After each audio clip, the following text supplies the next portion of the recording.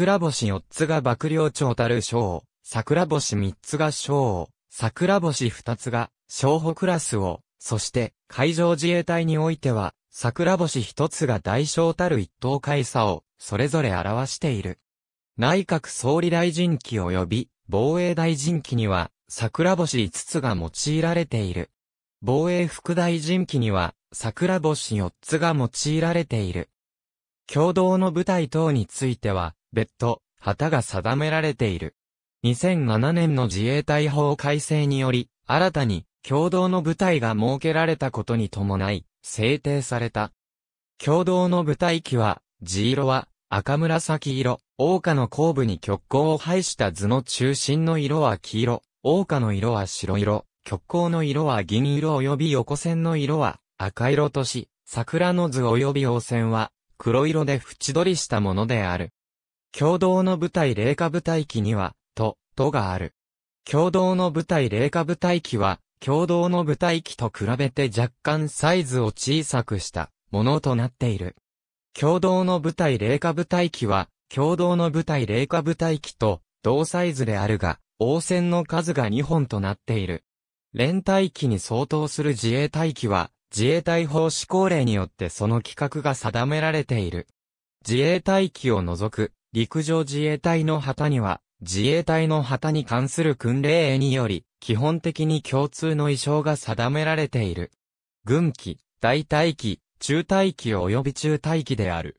原則として自衛隊の中隊以上の部隊に備え付けられており、地方協力本部、補給所、学校等の機関には備え付けられていない。これらは、いずれも陸上自衛隊の防障の図及び横線によって構成されている。これらの大気は部隊を表す旗であることには、違いなく、隊員同士の結束を固める旗である。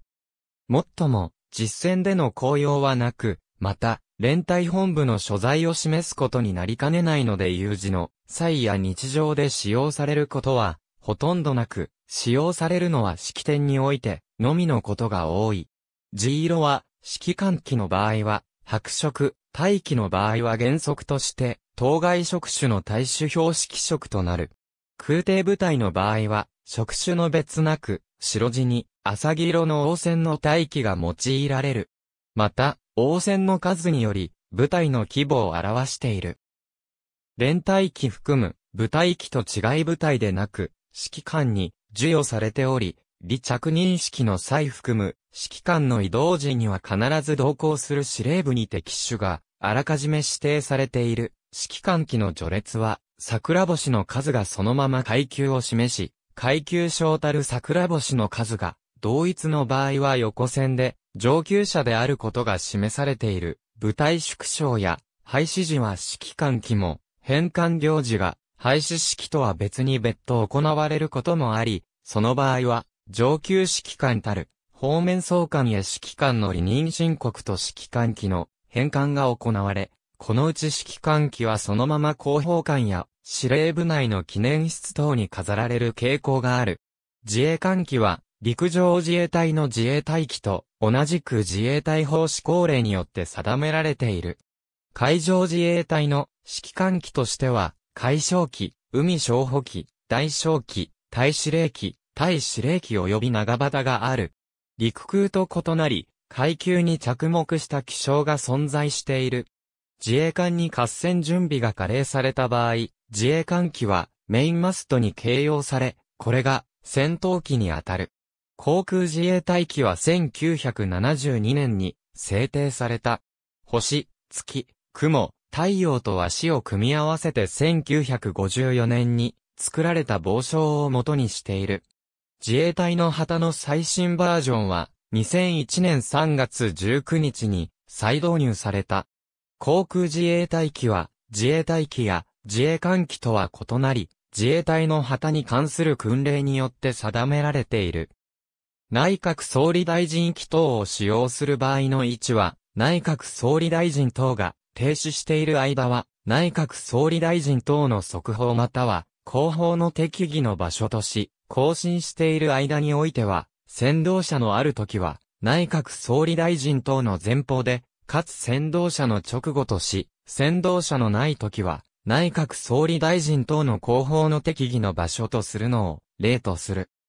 旗を使用する場合において、総葬式を行うときその他旗を備え付ける部局、または、機関の長が長位を表す必要があると認める。時には、旗の間頭を黒布で覆い、その下に、幅10センチメートルで旗の横の長さに等しい長さの2条の黒布を結びつけるものとする。旗の敬礼。旗の敬礼は、体が姿勢を正す敬礼を行う場合は、姿勢を正してそのまま放置し、その他の敬礼を行う場合は、右手で旗竿を垂直に上げ同時に、左手で右脇のところで旗竿を握り、次に旗竿を水平に前方に倒して行う。ただし、法事用バンドを使用して法事している旗は、右手を伸ばし旗竿を水平に前方に倒して行う。この他に感染においては、すべての船舶共通の国際儀礼として行う、敬礼及び同礼をする場合がある。ありがとうございます。